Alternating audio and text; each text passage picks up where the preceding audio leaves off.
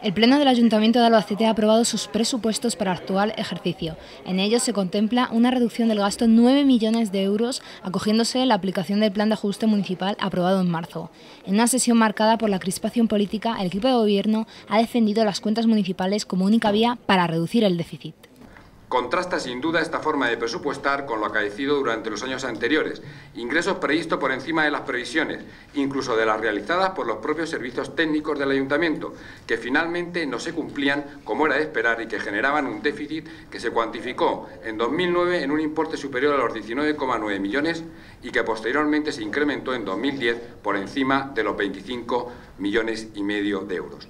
Ustedes han decidido que lo primero es el pago de la deuda y pactaron el año pasado con el Partido Socialista, que imagino que está arrepentido, o espero que lo esté, la reforma constitucional que prioriza el pago de la deuda. Y así nos va. Desde la oposición se ha vuelto a señalar la falta de talante negociador del equipo de gobierno, denunciado un seguidísimo político de la Junta ante una nueva reducción de la aportación. El PP ha reconocido que esperaba una alternativa seria a sus presupuestos que ha apuntado López Garrido no ha encontrado en las enmiendas de la oposición.